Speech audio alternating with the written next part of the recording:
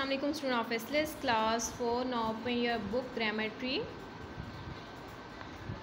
lecture number 47 है you number thirteen activity B आज solve करना है। इसमें क्या करना है? Appropriate forms of the adjectives last एक हमारे पास ये कॉलम दिया गया है। पॉजिटिव कंपैरेटिव एंड सुपरलेटिव ठीक है? Positive many many much quantity number मतलब मैनी नंबर्स के लिए मच क्वांटिटी ठीक है, जब बताई जाए। Well little late old many का क्या है? कंपैरेटिव मोर मोस्ट मच का more most well better best little less lesser least ठीक है?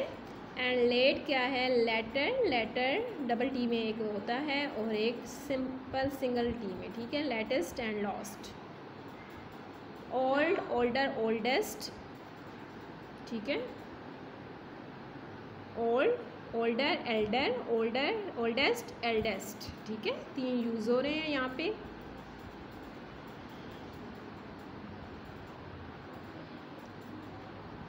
In the case of many adjective the comparative and superlative degrees are form by using the adverbs more and most before the positive ठीक है?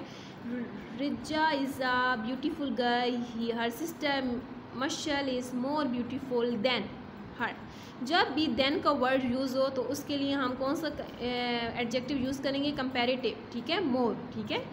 Sana how however is the most beautiful of all the sisters अब of आ गया है और all का word use हो गया है तो इसका मतलब क्या है? हम सबसे सुपरलेटिव का एडजेक्टिव जो है यूज़ करेंगे कंपेरेटिव सेंटेंस यूज़ करेंगे वर्ड्स यूज़ करेंगे sorry this chair is quite comfortable that sofa is more comfortable अब फिर दोबारा देन का देन का वर्ड तो यूज़ नहीं हुआ, लेकिन बता रहे हैं कंपेरेटिव हो रहे हैं, दो चीज़ों को, दो चीज़ों के लिए हम more the bed is the most comfortable of all अब फिर ऑफ़ ऑल आ गया तो मतलब इसके के लिए क्या होगा? मोस्ट का वर्ड हम यूज़ करेंगे.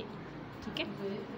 नेक्स्ट है हमारे पास fill the blanks with appropriate form of the adjectives given in brackets, which of the two boxes contain dash pencils? अब आपको appropriate एडजेक्टिव फॉर्म दे दी गई है अब इसको, अब कौन सी आएगी? सुपरलेटिव पॉजिटिव कंपेरेटिव दी आपको पॉजिटिव दी है। अब अगर पॉजिटिव आती है तो वो हमने फिल कर देना है। अगर कंपेरेटिव आती है तो इसी का कंपेरेटिव बना दें। और अगर सुपरलेटिव सुपरलेटिव आती है तो उसका सुपरलेटिव बना दें। मैंने का क्या होगा? More which of two boxes contains dash pencils more pencils this is the dash story that we have ever hear funny funniest story that we have ever hear a piece of heavy wood will feel much dash in water than in air then आ गया तो फिर lighter comparative sentence who is the dash boy in this case hard working के लिए वो is the most hard working मतलब class की बात हो रही है ना, पूरे क्लास की होल की तो सबसे ज़्यादा लाइक कौन सा बच्चा है, उसके बारे में बात हो रही है।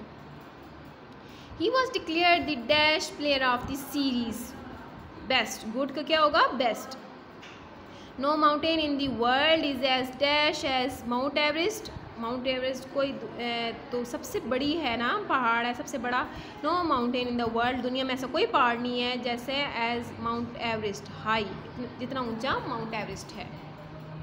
This the sea is dash today and it is not safe to swimming rough ठीक है? The sea is rough today तो रफ पॉजिटिव सिंपल यूज़ होगा, इसमें कोई कंपेरेटिव सुपरेटिव यूज़ होगा। Nothing can travel at a dash speed than then का word use है मतलब faster no other language spoken in so dash countries as English many simple positive use होगा।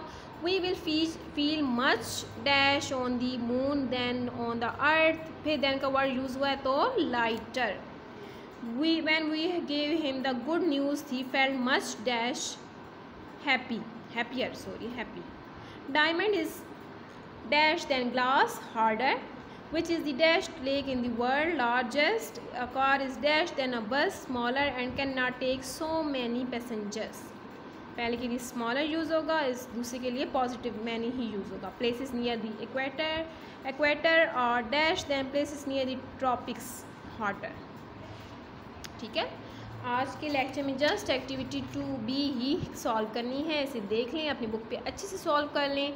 Stay blessed अल्लाह हाफिज़।